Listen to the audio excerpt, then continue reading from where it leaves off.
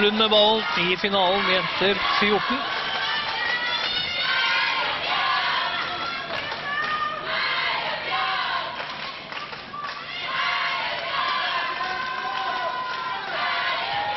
Og holder nesten på å surre det bort der. Kaja Rime.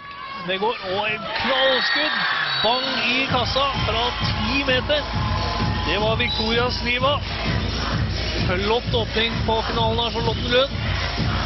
Hun gikk altså opp på ti meter og dunka ballen opp i krysset. Den er lei å ta for målvakt.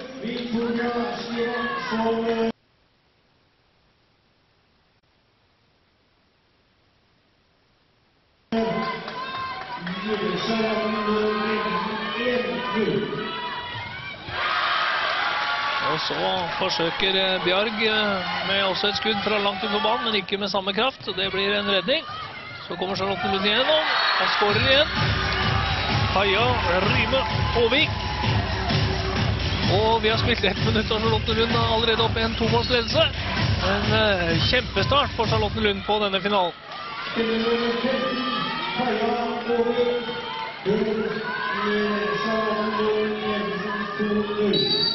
Det blir for mange skritt.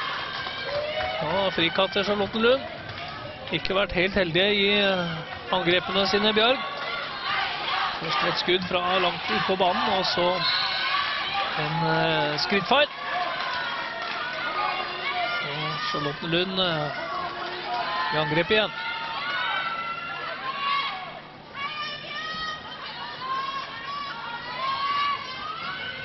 Der er kanonskytteren nok en gang.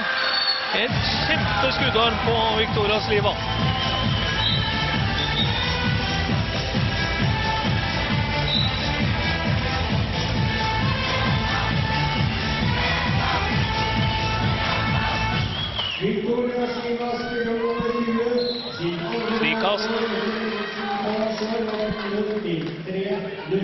Kan være, Bjørg, at dere skal passe litt på nummer 20, Victoria Sliva. Har hatt eh, to skudd fra henholdsvis 10,5 og 11 meter, og begge har uh, klinka i kassa. Disse jentene er altså 14 år. Eh, skyter jo like hardt og velplassert som eh, mange vesentlig eldre spillere. Og surr og rot igjen for Bjørg i angrep, men heldige å beholde ballen. Og så blir det for mange skritt eh, på deg også. Karoline Fantoft, og da kommer Charlotte Lund igjen. Og nydelig inn til strek. Der står eh, June Grøtte aldeles aleine. Har jo en hel uh, håndballhall nesten å boltre seg på. Og da gjør hun selvfølgelig det hun er satt der for. Skårer mål. Og Charlotten Lund leder 4-0 etter tre minutter. Det er altså mulig å ta en timeout her. Én timeout i løpet av kampen. Det kan være Bjørg at jeg skal ta den med en gang og minne om at uh, finalen faktisk har begynt nå. Det er uh, Charlotten Lund som uh, virkelig har satt sitt preg på de første minuttene her. 4-0 altså etter tre minutter. Og så får vi en målvaktsredning også. Ida Karlsson.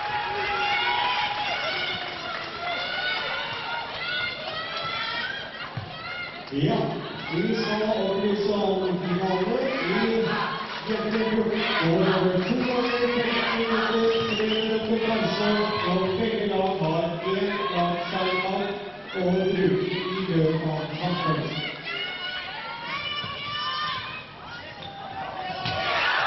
Og neste en i stanga den gang. Der er Bjørg heldig.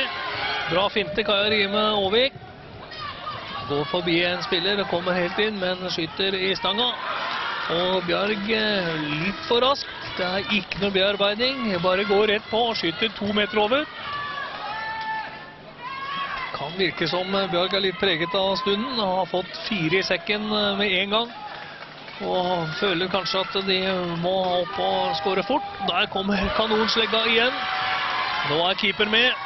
Slapp inn de to første, men den tredje reddes. Og så ny redning.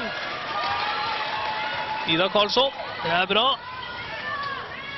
for Charlottenlund. Holder nullen. Spilt snart fem minutter.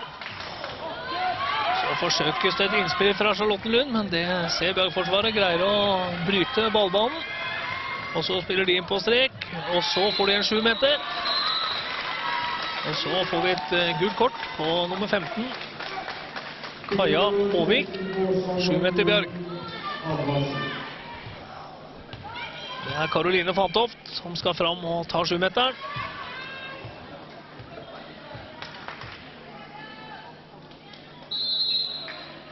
Et pådrag, og så i stanga! Det er av utur og innersida av stolpen for bakkeeper og ut til innkast for Charlottenlund. Så ikke engang på sju meter kast klarte altså Bjarg å sprekke nullen. Det er litt sånn utgjort.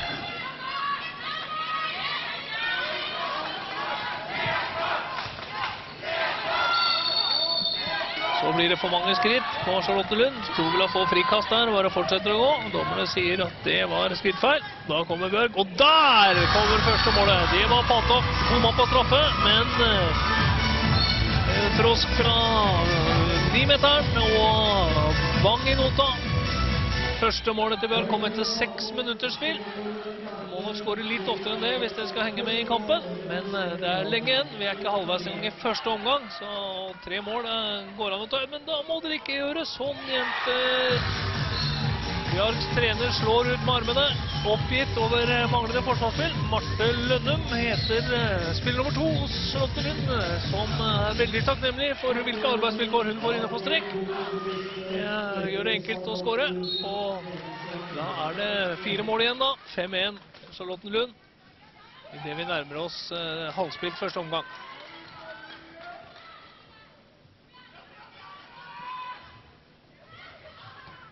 Og stanga igjen. Nå har de utur. Kommer brukbar sjanse. Og så løper Charlottenlund, men Bjarg løper ikke hjem. Og da sier det pang igjen. Bra kontring. Stor fart på June Grøtte. Og hennes eh, andre skåring. Charlottenlunds sjette.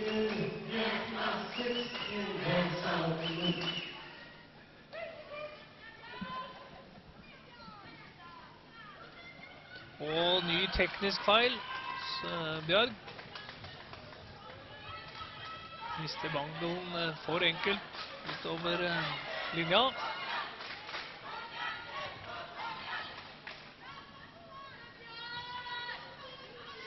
Og så er det kanonkula igjen fra Charlotte Lund.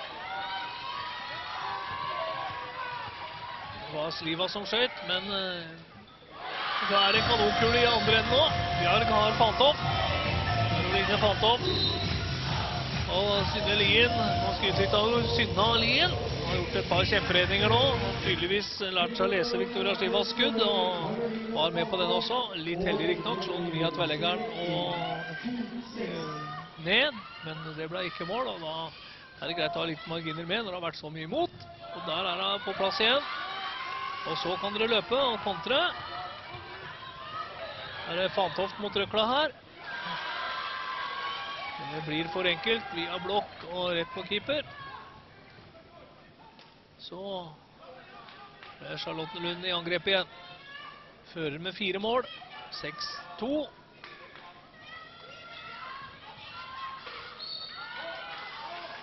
Og dere må nok få fart eh, mer på beina, Bjørg jenter. Dere går med stive armer og dytter spillere stedet istedenfor å flytte på beina og bli med når de setter fintene.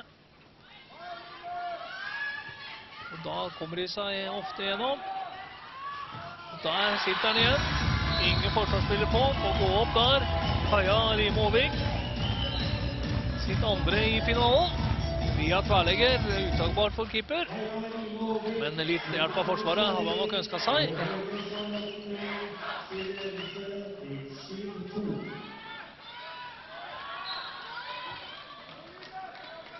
Låser det seg fast i midten for Bjørg.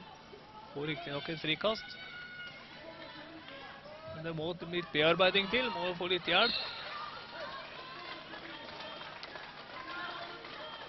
Charlottenlund virker som de har eh, full kontroll på midtforsvaret. Og angrepsforsøka fra Bjørg. Der kom et skudd fra høyre bekk, men i nettveggen.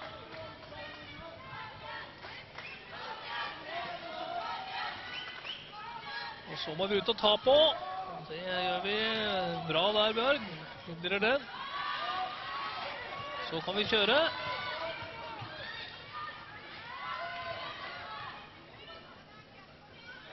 Og så er det da Fantoft. Oi, stanga igjen! Og nå kan det jo bare gå, men det gjør du ikke.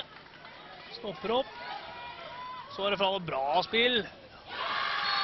Fantoft ser at eh, Julie Mari Simensen er helt aleine inne på strek. Flott pasning og redusering til 3-7.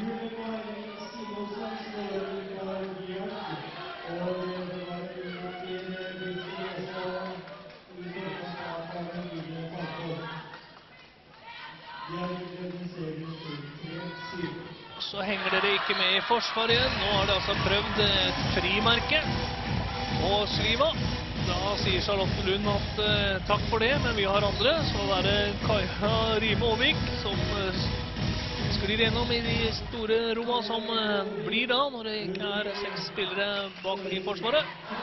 Sitt tredje mål og øker til 8-3. Og så skudd utafor fra Bjarg. Det var eh, Simon Simensen igjen. Og så kommer Charlotte Lund. Det går fortere med Charlotte Lund. Er dommeren framme. Han hadde hånda i lomma, men endra seg, og det ble bare tilsnakk. De fortsetter, Bjarg, å markere ut Victoria Sliva. Der. åh, flott eh, mulighet. Får med seg et frikast. Det er Juni Grøtte som spiller bort på kanten der. Så ballen fort. Og skudd utafor. Så havner ballen langt opp på tribunen, og da stoppes klokka. Har keeperen vært henta, så da kan vi starte igjen. Fem mål opp, eh, Bjarg.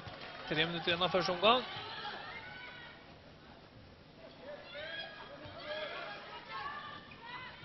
Og der hadde du mulighet. Hadde du sett streken der, så var hun igjen helt alene.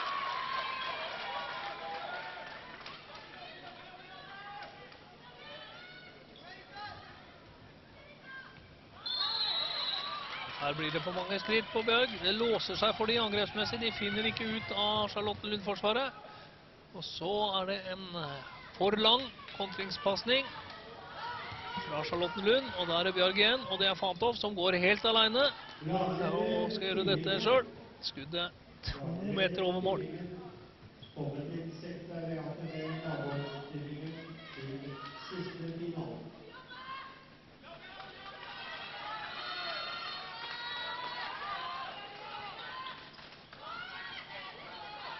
Charlotten Lund forsøker igjen.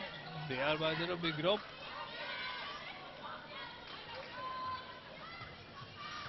Og det blir eh, litt sånn nølende skudd for en forsvarspolise. Jeg syns Bjarg er bedre med nå. Og så blir det et for enkelt skudd. Der er Ida Karlsson og redder. Og så kommer kampens dronning. Victoria Sliva løper fra alt og alle og skårer sitt fjerde. Nei, unnskyld, sitt tredje. Øker til 9-3.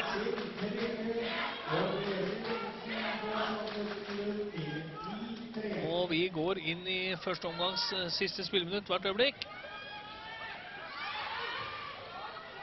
Og det låser seg igjen for Bjørg. De får ikke noe bearbeiding, får ikke noe samhandling i angrepsspillet sitt.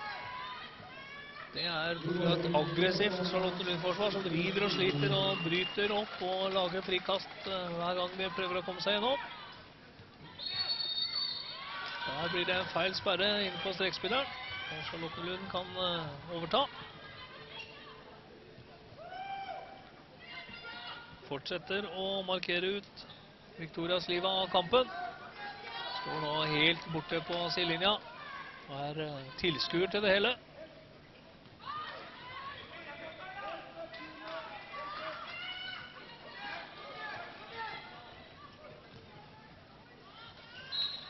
Bra forsvarsspill. Det går eh, beina bra på Julie Marie Simonsen.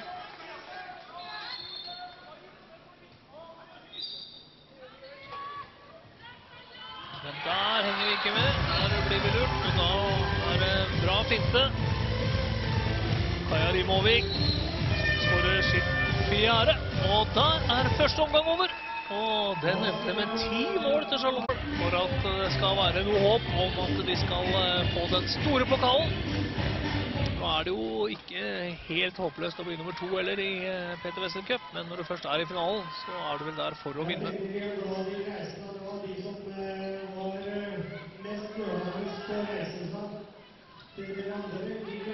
Det er litt nølende fortsatt på Bøk. Går altså på 15 meter og spiller ball.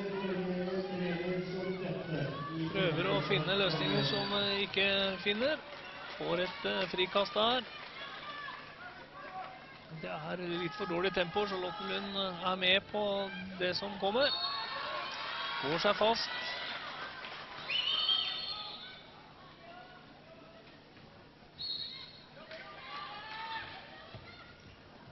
Og så blir det litt for enkelt. Det er Karoline Fantoft som eh, forsøker alene, uten kraft og fart.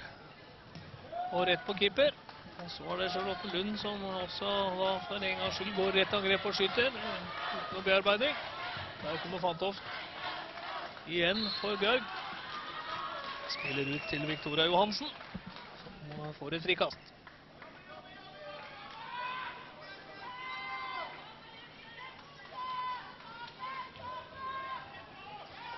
Den er bra forsvarsspill av Charlottenlund. De går ikke på fintene, beveger føttene, er med, bruker armene og takler. Og der har du mulighet til å gå inn, og så gjør du ikke det. Du velger å ta for mange skritt. Eh, Bjørg spiller, og da kommer Charlotten Lund i full fart. Og da smeller det. Det er eh, klasseforskjell på lagene akkurat i øyeblikket. Charlotte Lund beveger beina godt i forsvar og stuper fram når de har mulighet. Bjarg er litt nølende i begge ender av banen. Og Ida Andrea Hustad skårte sitt eh, første mål, økte til eh, 11-3. Og tar for seg i forsvar. Helt annen eh, angrepsvilje. Eller kanskje bedre å si forsvarsvilje fra Charlotten Lund. Som eh, går på og takler og lager frikast. Eh, En eh, der igjen, framme og bryter. Nytt frikast til eh, Bjarg.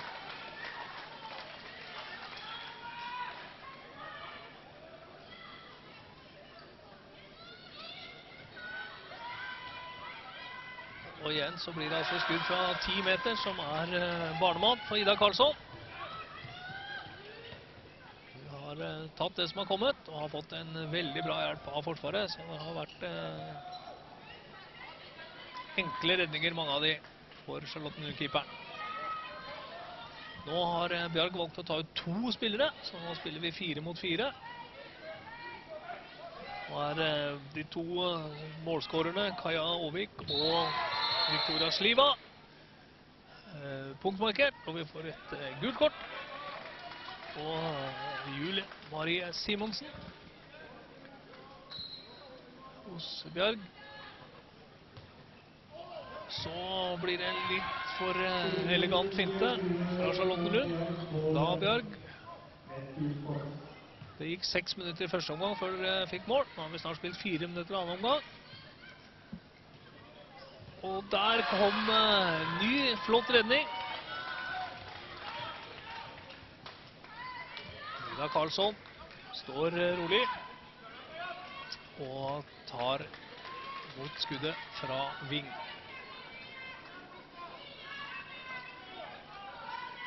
Bjørg fortsetter med taktikken og punktmarkerer to spillere. Og da surrer eh, Charlotten Lunden. Prøver et eh, innspill til strek med litt små marginer. Så går den i med Teknisk feil på Bjarg. Det vil seg ikke. Og så sover vi igjen, for her er Reismann Lost til å skåre mer mål, men skyter eh, hardt, men utenfor denne gangen. Victoria Sliva. Lynrask. Så blir det bare frikast til Bjarg. Kommer igjennom der. Et av de få gjennombruddene de har klart, men klarer ikke å få med seg eh, ballen til et skudd. Og får et frikast. Nå har det snart gått fem minutter av annen omgang. Som sagt, eh, i første omgang var det seks minutter før dere fikk det første målet. Eh, Nå har vi spilt fem minutter av annen omgang, og dere har ikke skåret etter pause. Ligger under med åtte, og det er ti minutter igjen å spille.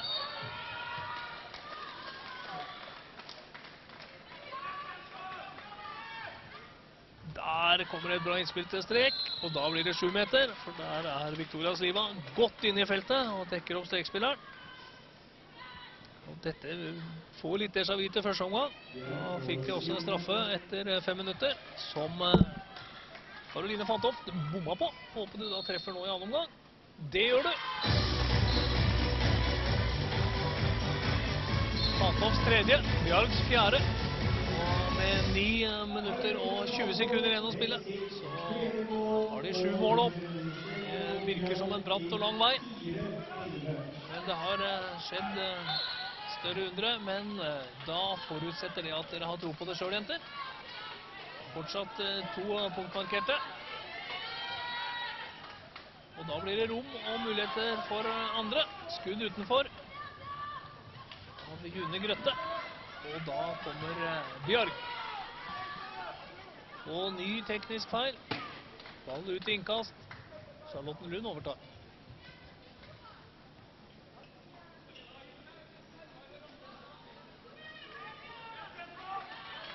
Da går Bjørg tilbake til én Nei da, går ut nå. Både Sliva og Aavik blir eh, markert ut av kampen, så da spilles det fire mot fire.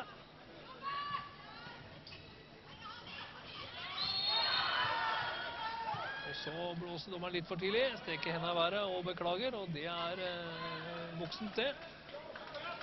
eh, de fleste av oss gjør feil. Blåste litt for tidlig, så ikke at den ballen ville gå i mål, blåste frikast. Og da er det helt riktig å strekke armene og si beklager, der var jeg litt for rask.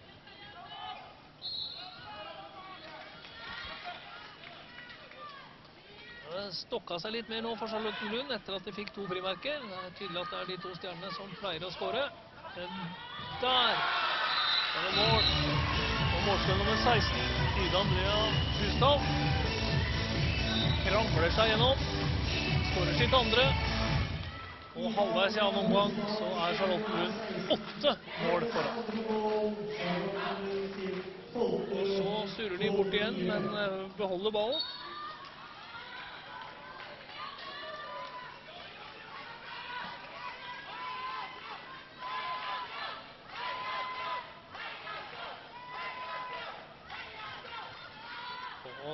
Og seg fast i forsvaret. Prøver ei finte som eh, Charlottenlund-spilleren ikke går på. Og det henger med i beina. Et veldig bra fotarbeid av forsvarsspillerne Charlottenlund. Så et skudd, og når de da endelig kommer på skudd, så har de en strålende keeper bak også i Ida Karlsson. Og så kan de kontre. Rune Grøtte skårer sitt tredje mål. Charlottenlund er eh, best i alle faser av spillet. De har en glimrende målvakt, et eh, solid forsvar. Det er godt eh, kontringsspill og et veldig bra etablert angrepsspill. Og da blir det en stor seier. Foreløpig leder de 13-4. Det er eh, eh, vanskelig for Bjørg. De kommer ikke til. Det blir halvsjanser. Så forsøker frekkas inn på strek. Det var ikke strekspiller helt med på.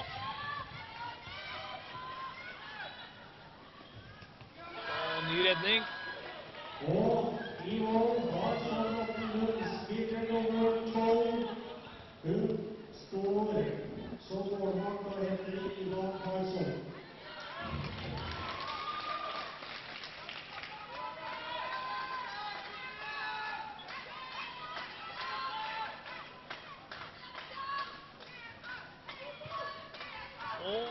Teknisk feil fra Charlotten Lund. Det er en av de få jeg har sett i kampen. Liten misforståelse gjør at eh, ballen kastes eh, rett ut i innkast på Bjørg.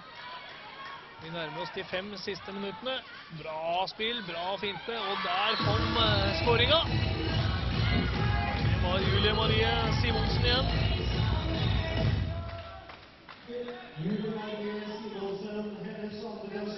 For andre gang i kampen. Og reduserer til eh, 5-13.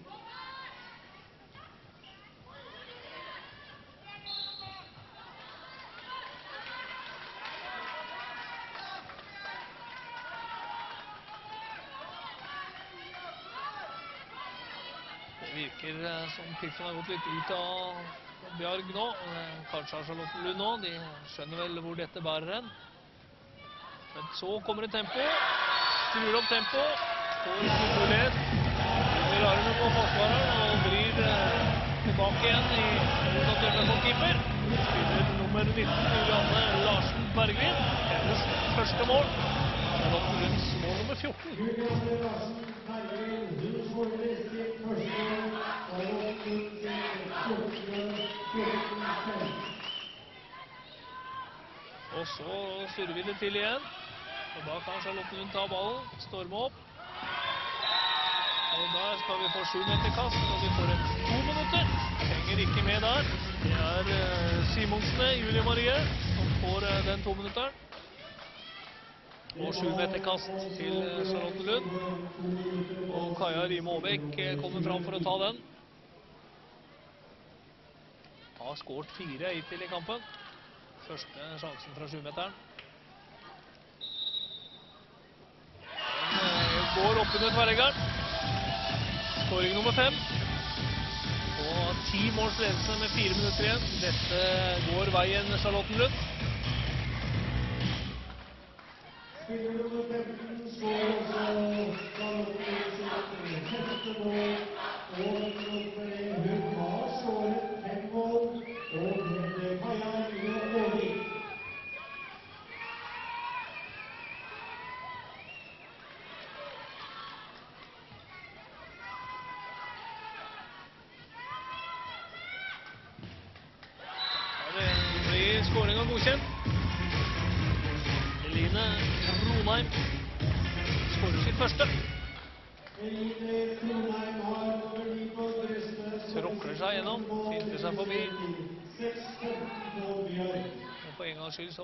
ikke Charlottenlund-forsvaret helt ned på i føttene.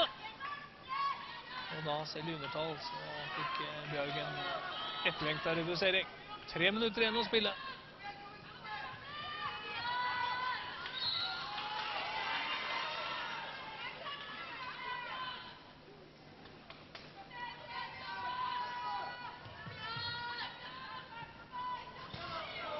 Stangskudd. Aavik. Kaja skjøt stanga ut.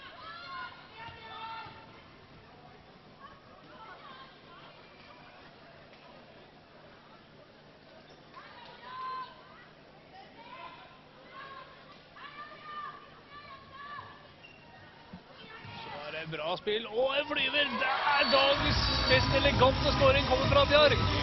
Blå spill ned til Ving, og der kom Karoline Fantoft inn. Og fløy ballen i mål. Det var flott, og hennes mål nummer fire.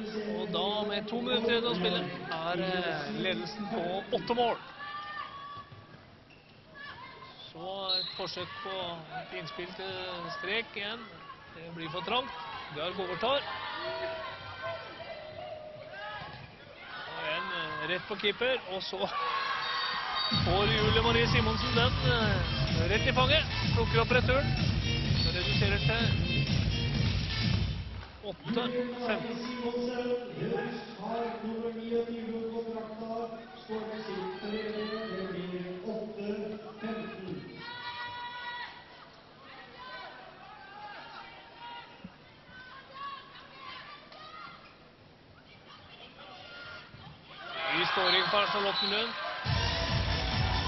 Og Eidem.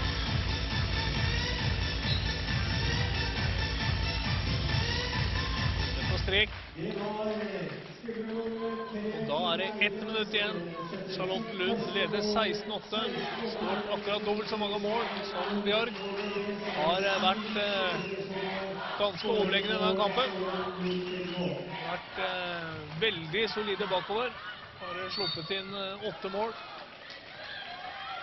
Og Mange gode angrep. Flotte skudd. Mange gode innspill og kontringsmål. Og, det, og der Bra redning. Så jeg på meg en ny skåring, men Victoria Berg redda den. Og da er det sannsynligvis Bjørg som får kampens siste mulighet til mål. Den sitter. Bra innhopp, da gikk de altså fra ligge under eh, med åtte-ni mål til å ta inn litt på slutten. Og det var eh, Emilie eh, som fikk skåre siste mål. Og der er kampen over! Charlotten Lundjentene kaster seg rundt hverandre, jublende glad. De har vunnet PTV Wessel Cup 2014 i klassen for jenter på 14 år. Og de er jublende glad. Jeg tror Bjørg syns det er egentlig litt skuffende, men greit. De møtte et bedre lag. De tapte for et lag som spilte bedre enn de nå, og da er det sånn at det å bli nummer to og få sølvmedaljer er også ålreit. Bare den første skuffelsen får lagt seg. Vi gratulerer Charlotten Lund med seieren i eh, Jenter 14 og gjør klar til eh, siste finale, som er Jenter 15 om eh, 25 minutter. Kampstart 5 på 8. 1955. Og fram til da ned på indre bane og premieutdeling.